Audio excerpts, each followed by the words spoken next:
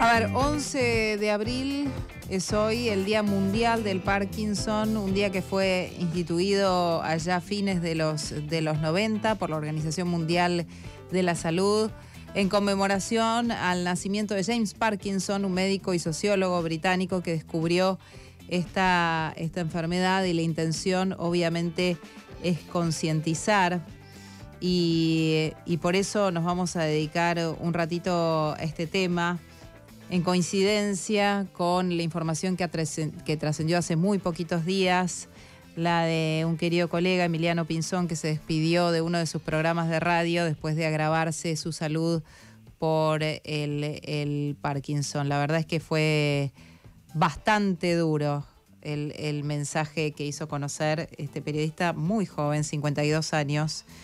Um, bueno, ustedes se habrán enterado seguramente que tomó la decisión de enfocarse mucho de lleno a su, a su tratamiento y contó un poco la situación que está atravesando.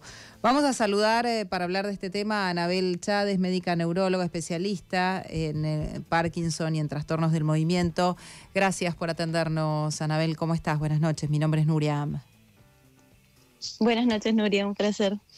Igualmente, bueno, a ver, hablamos de esto para concientizar, ¿no? Así como hace poco se habló hoy mucho sobre el autismo, el 2 de abril, hoy es el día contra el, Parkinson. Es importante conocer exactamente qué es lo que sienten las personas que padecen este tipo de, de, de trastorno y por qué todavía no tiene cura, ¿no? El Parkinson podemos decir que es algo que, a ver, se puede mejorar la calidad de vida de quien, quien tiene que atravesar esta situación, pero es una enfermedad neurodegenerativa, digamos, avanza al tiempo de los años. Es así, eh, es una enfermedad neurodegenerativa, la segunda luego del Alzheimer, donde se produce una disminución de una sustancia, un neurotransmisor muy importante que es la dopamina, que es la que nos ayuda a coordinar eh, los movimientos y además hay un depósito de una proteína normal que se llama alfa-sinucleína, se deposita en distintas partes del cuerpo y eso puede explicar los síntomas que tiene el paciente. Los primeros síntomas que hacen eh, que, que lo lleve a la consulta pueden ser lentitud en el inicio de los movimientos, para comenzar a caminar, lentitud para vestirse, eh, para cortar la comida, para hacer sus actividades cotidianas.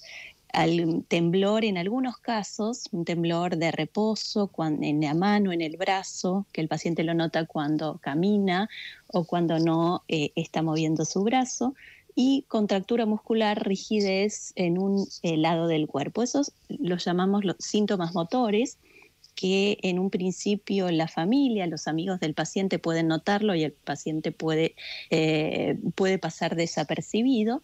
Y existen gran cantidad de otros síntomas que llamamos no motores que se pueden presentar em, previos a los síntomas motores, como problemas del olfato, problemas para dormir, eh, tipo de sueño que el paciente actúa los sueños, se mueve, mm. eh, vive el sueño y eh, eso hace que tenga una mala calidad del sueño y el acompañante es quien nota estas dificultades, eh, constipación, trastornos del ánimo, depresión, eh, ansiedad y lentamente van progresando estos síntomas que hacen que el paciente concurra a la consulta para que tenga un diagnóstico preciso y así un tratamiento para, para mejorar su, su, día a día.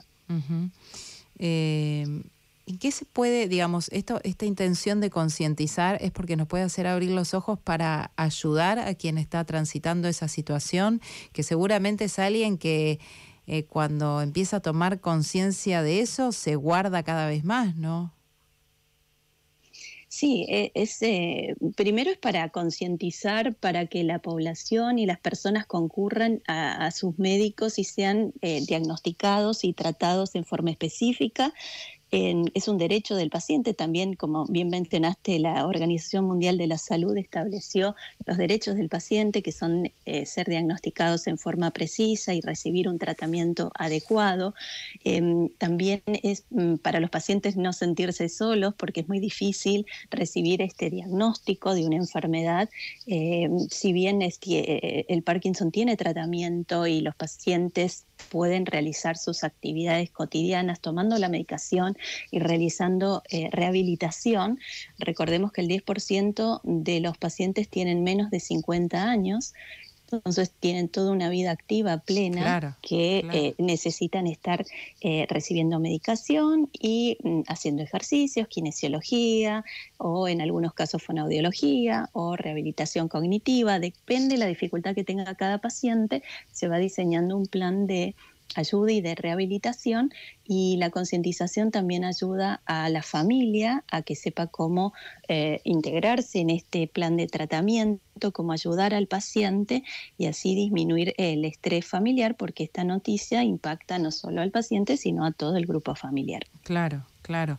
Ahora, esa persona que se trata, hay, o sea, distintos tipos de Parkinson también, ¿no? Esa persona que se trata puede, eh, hay, depende vuelvo, el tipo de Parkinson que tenga, pero hay algunos que la persona puede estar trabajando normalmente, digamos, o que el trabajo la corre de escena, el, el, Parkinson lo corre de, la escena laboral. Sí, hay eh, muchos pacientes que continúan con sus actividades laborales, sociales sin dificultad. Hay distintos tipos de Parkinson. Algunos pacientes no tienen temblor, tienen rigidez o tienen lentitud en el movimiento, pero no presentan temblor. Eh, si el paciente tiene eh, temblor y tiene alguna actividad que precisa eh, utilizar las manos, puede impactarle de diferente manera pero recibiendo medicación la mayoría de los pacientes continúan con, sus actividades porque no es una enfermedad que va a avanzar rápido, avanza lentamente. Pero existen otros parkinsonismos, los que nosotros llamábamos antes eh, atípicos, que, que tienen algunos síntomas además de los clásicos del Parkinson, que no tienen tan buena respuesta a la medicación y que pueden tener una evolución un poco más rápida e impactar más la calidad de vida del paciente que no es lo más frecuente. Lo más frecuente es que presente una enfermedad de Parkinson clásica con buena respuesta a los tratamientos. Bien, Anabel Chade, em, antes de despedirte te pregunto, ¿hay una estadística de cuántas personas con, hay con Parkinson en Argentina? Dijiste un 10%, muy joven. Sí, 10% menores de 50 años y se estima que 90.000, 100.000 pacientes hay en, en Argentina con esta enfermedad. Mm que, es muy importante que, concurran a sus médicos, que, se traten y, que, que reciban el, tratamiento eh, adecuado. Adecuado que mejora la calidad de vida de quien tiene que, que luchar con esto, ¿no? Exacto, exacto. Y nosotros hoy eh, estamos haciendo una campaña desde la Fundación INECO que se llama Tiembla la calle Corrientes, donde todos los teatros al inicio de la función van a tener un eh, mensaje en off de Gerardo Romano eh, ah, hablando sobre el tratamiento, el diagnóstico para concientizar a la población y eh, a su vez en las marquesinas también va a haber un mensaje como una manera de eh, hacer ver esta, esta problemática, esta enfermedad, pero que tiene un diagnóstico y un tratamiento adecuado, así empatizamos un poco con, la enfermedad en este día. Gracias, Anabel. Gracias a ustedes. Un saludo grande. Anabel Chávez, médica neuróloga especialista en este tema. Hacemos una pequeña pausa. Esto es Argentinos de Bien hasta las 9. Argentinos, de Bien. Nuria Am. Nuria Am.